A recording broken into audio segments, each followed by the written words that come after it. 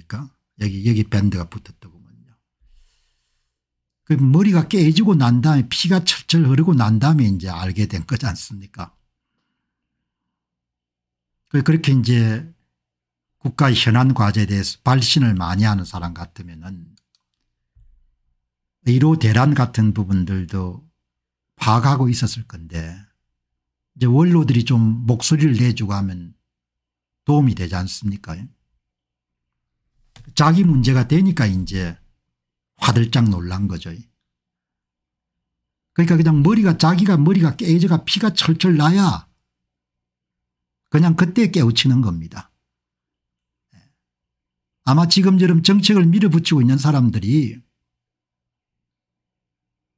머리가 이름 깨져가 피가 철철 날 정도로 위급 상황이 됐을 때 본인들이 아이고 이게 우리가 조기 진화를 했어야 되는 건데 큰일 났네 이렇게 생각할 수도 있는 거죠. 예. 뭐 어떻게 그렇게 우둔하냐 이야기입니다. 아니 머리가 깨지기 전에 좀 하면 안 되냐 야 이왕 할 건데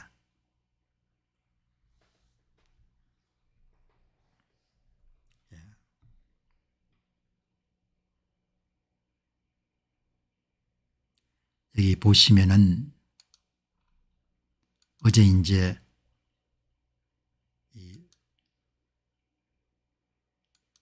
노한규 전 대한의사협회 회장이 쓴 글, 예.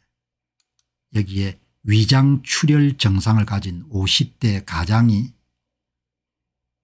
1천 병상 이상을 갖고 있는 병원에서 내시경을 볼수 있는 그런 없었기 때문에 죽음을 맞았다 이런 내용이 나왔지 않습니까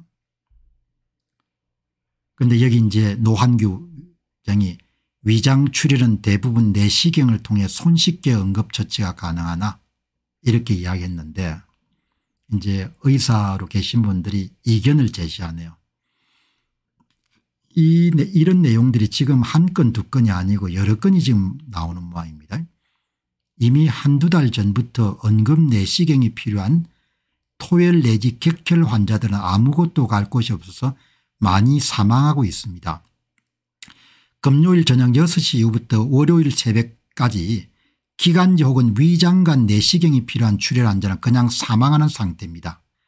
평일에는 50% 확률로 치료받고 50% 확률로 사망합니다.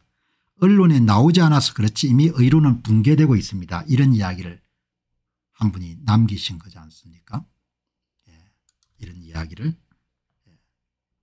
그런데 이제 몇 분이 이야, 이견을 말씀하시네요. 예. 위장 출혈은 쉬운 견은 쉽지 않습니다. 원인에 따라 다르고 동맥 같은 것은 노출되어 터지면 순식간에 죽습니다. 예. 확률적으로 준비가 되어 있고 전문가가 항상 대기해야 생명을 건질까 말까입니다. 그런데 그 전문가가 이제 없지 않습니까 일천 병상이 아니라 일반 병상을 준비하더라도 전문가가 없으면 죽는 겁니다. 아산병원 간호사가 뇌출혈로 죽은 거 보셨지 않습니까 왜 당사자 의료인도 병원에 사망하는지 문제 해결을 근본적으로 해결하려고 하는 의지가 없습니다. 왜냐하면 그건 일어날지 안 일어날지 모르는 불확실한 일에 비용을 쓰는 거니까 모두 하기가 싫은 겁니다. 여러분 여기가 이분 말씀이 의료 서비스의 본질을 상당히 정확하게 지적하고 있거든요. 옆에 훈수꾼들 필요가 없는 겁니다. 그걸 치료할 수 있는 의사가 있어야 되는 겁니다. 그 의사가 없으면 죽는 겁니다.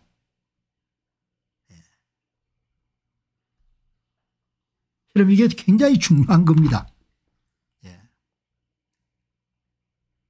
아산병원 간호사 여러분들 병원에서 여러분들 어려움을 당했는데 죽지 않습니까 그 전문가가 없는 겁니다. 뇌혈관 수술 여러분 할수 있는 전문가가 없었던 겁니다.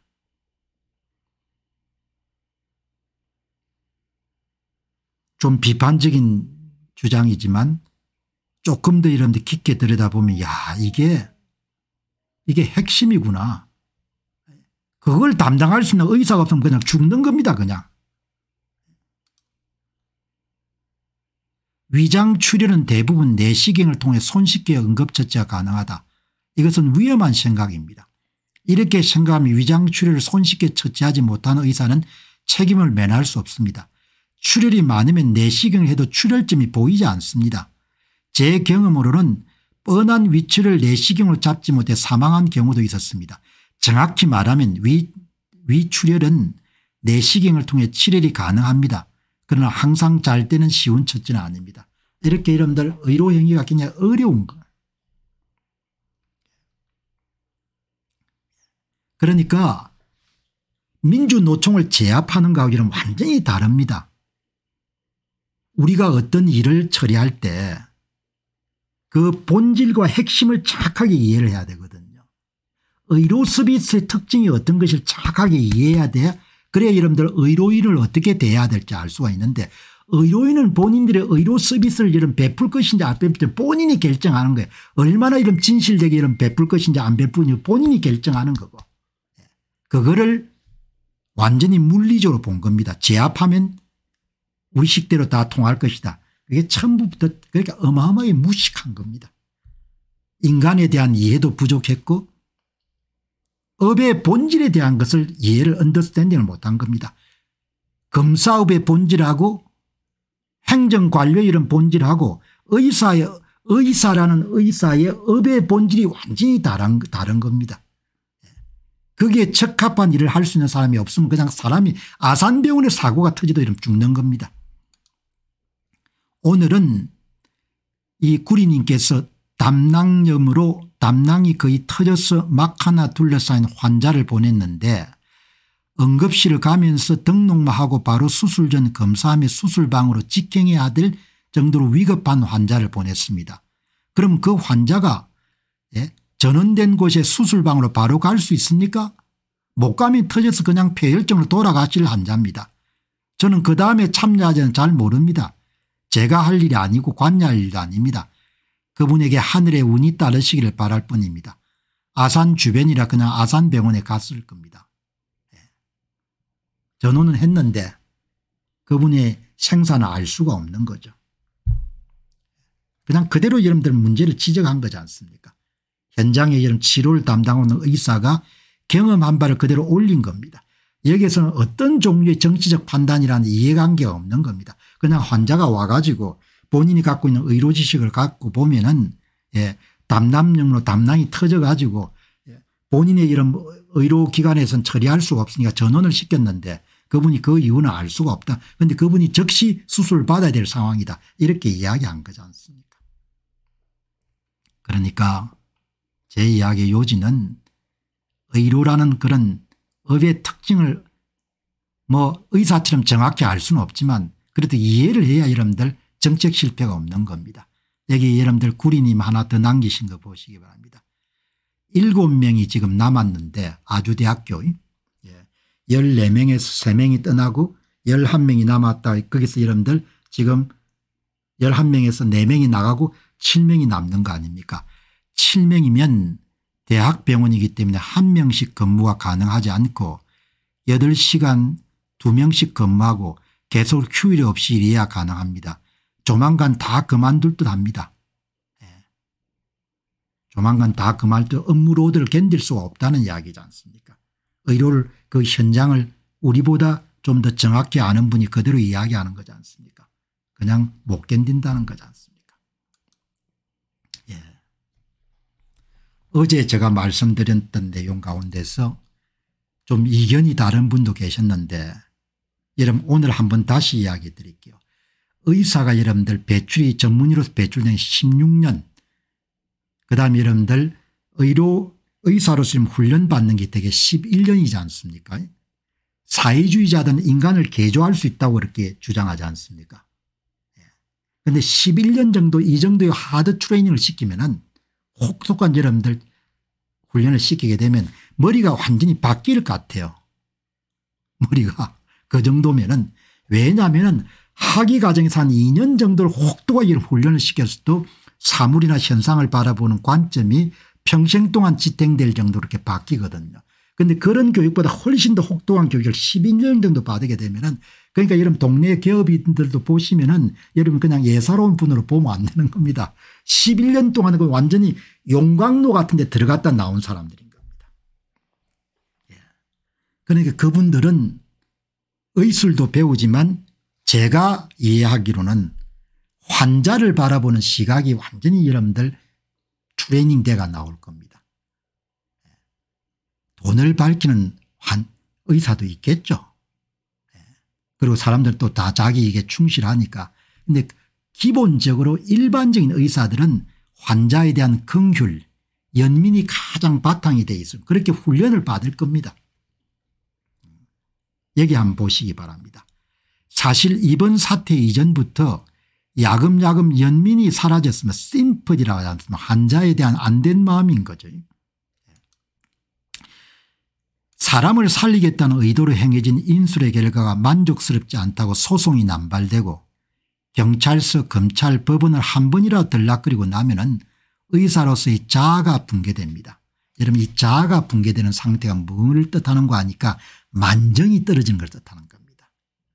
그러니까 의사들은 11년간의 의료 여러분들 교육을 받는 동안에 환자에 대한 긍휼과 연민을 가지는 걸 훈련을 받았는데 그럼 공박사님 왜 나와가지고 그냥 돈만 밝힙니까 이렇게 하시는 분도 계실 것 같은데 그럼 그 사람들이 언제 여러분들 마음을 바뀌게 되는 거 하니까 소송 한 번 걸려가 여러분들 예, 호되게 당하고 나면은 그때 만정이 떨어지는 겁니다. 소송 한 번 당하고 나면은 예, 제가 2020년 4.15 총선부터 시작해 가지고 선거 부정을 밝히기 위해서 한 4년 정도를 헌신했는데 대한민국 이런 식자층들이나 권력자들이 그걸 덮는 걸 보고 내 마음이 어떻겠습니까? 애민정신이 여러분들 충만하겠습니까? 애국정신이 충만하겠습니까? 에?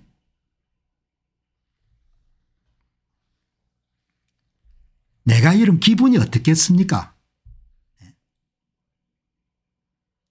도둑놈들이 저렇게 많은데.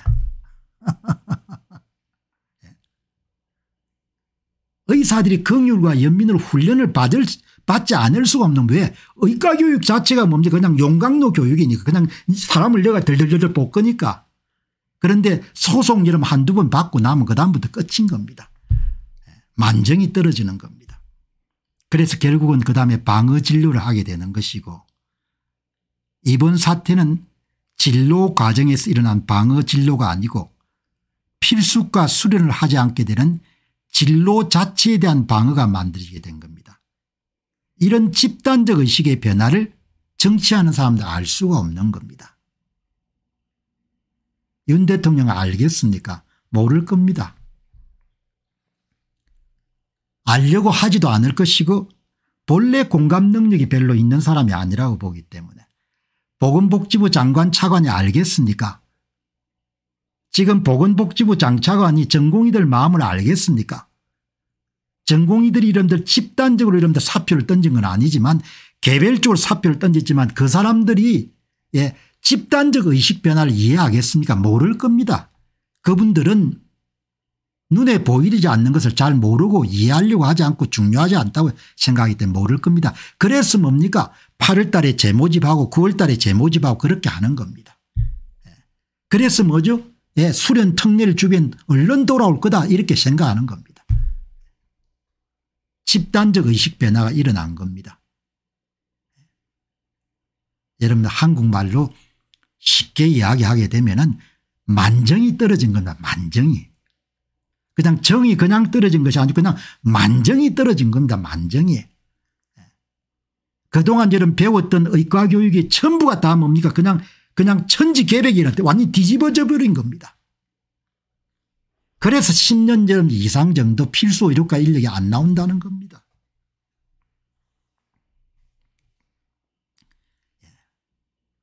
이렇게 이러면 돌아간 겁니다.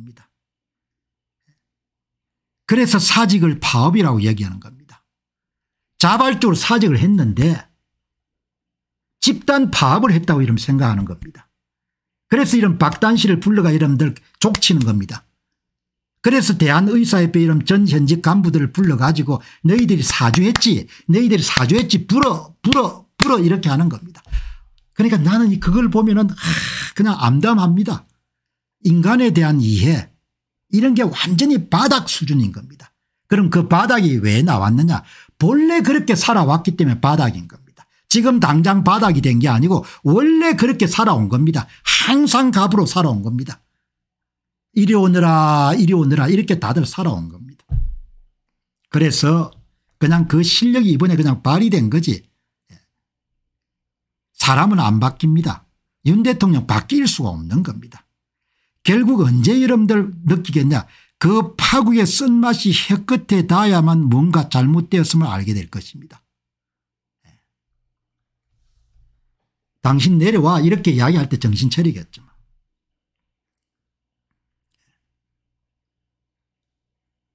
그런데 유감스럽게도 그 때가 오겠죠. 의사들은 그 결말을 어렴풋이나마 알기 때문에 어렴풋이 아는 게 잘 아는 겁니다. 의사들이. 그래서 이런 김용식 원장 이야기를 제가 자주 말씀드리지 않습니까 의사들은 의료를 아니까 일반인들은 모르는 겁니다. 다 건성건성이고 왜 내 문제가 아니니까 내 지갑에 돈이 나가는 게 아니니까 그래서 가해자가 될 수 있는 겁니다. 본인 문제가 되면 이제 느끼겠죠. 정치하는 사람들은 그냥 내려오라고 하면 그때 이름 느끼겠죠. 불을 지피게 되면 그냥 확 탈 겁니다. 의사들은 알지 않습니까 이 문제 해결 안 된다 이야기죠. 이 문제 해결 안 되면 이 문제는 결국 태울 거다 이렇게 보지 않습니까 그래서 제가 늘 이야기했잖아요. 조기에 종식하셔야 된다고. 이렇게 이야기하지 않습니까 오늘 로마님이 대통령 편 좀 들어주라고 하는데 지금 이게 다 대통령 편을 들어주기 이야기하는 거지 않습니까 예? 대통령이 정신 차리라고 하는 이야기지 않습니까 당신 대통령 정신 못 차리면 당신이 간다는 이야기를 하지 않습니까 대통령 이런 편을 들어주려면 편을 안 들어주려면 잘한다 잘한다 이렇게 하는 게 여러분들 편을 안 들어준 거죠. 그래 빨리 골로 갈 거니까. 여러분 이 로만님께서 나라가 뭐 직전입니다. 대통령 편 좀 들어주시기 바랍니다. 이렇게 하시는데 솔직하게 이야기하게 되면 선거 공정성 문제 그냥 깔아뭉갰을 때 거의 결론 난 겁니다. 아무리 제가 나서가 이런 대통령을 보호하기 위해서 노력하더라도 선거 공정성 문제 이름 덮었을 때 그때 이미 결론 난 겁니다. 그 지금 갖고 놀지 않습니까? 지금 그 사람들이 갖고 놀지 않습니까? 제가 대통령을 뭐 까려고 할 수 있는 일이 아니지 않습니까? 그리고 까야 될 이유가 없지 않습니까? 더불어민주당 사람들은 까면 덕이 생기지만 저는 그렇게 덕이 없고 또 제 성품 자체가 누군가를 모함하거나 음해하거나 이렇게 하는 게 아니기 때문에 대통령을 까기 위해서 하는 게 아니고 이미 대통령의 운명은 4월 10일 총선과 그 이전 여름 공직선거를 전부 다 예, 그냥 덮기로 결정했을 때 결정된 겁니다. 뭐 어떤 일을 하더라도 그걸 번복할 수가 없는 겁니다. 여기 이제 한 분이 유언중유골 말씀하지 않습니까 아니 머리가 깨지야 깨우쳤다는 영감이네요. 세상을 이렇게 모르면서 무슨 정치 리더가 됩니까 의료 대란이 오고 붕괴돼서 건강보험 등 의료 시스템이 박살난다는 것을 다들 반년 전에 예고하고 경고했는데 지금 아가 자기가 막상 머리가 여름 깨지고 피가 철철 흐르니까 에? 국정 최고 해나는 의료 대란을 해결한 것이다. 이걸 해결하지 못하면 정권이 위태롭 거다 그렇게 이야기하냐 이렇게 나무라지 않습니까 그런데 아직 뭐 국민들은 잘 모르죠. 일반인들과 얘기해 보면 예, 벽을 마주하는 기분입니다. 진짜 본인들이 당해봐야 이해할 것 같아 속상하고 나라가 걱정됩니다. 윤 대통령이 지금이라도 빨리 깨닫으시고 정상화되면 좋을 텐데 힘들겠죠 이렇게 이야기하는 겁니다. 마음만 딱 바꾸면 되는데 아주대 병원은 경기 서남권의 마지막 보루입니다. 모르는 분들은 그냥 대학병원이다 이렇게 생각하실지 모르겠지만 전국의 응급실 뺑뺑이 환자들이 전국에 다 모이는 응급의학에서는 어머니 같은 역할을 하는 곳이 바로 아주대 병원입니다. 아주대 병원이 저런 지경에 이르렀다는 것은 정말 전국 응급실이 다 셧다운 직전이라는 뜻입니다. 한숨만 나옵니다. 의, 응급의료 현황과 의료 현황을 잘 알기 때문에 하시는 이야기지 않습니까 예.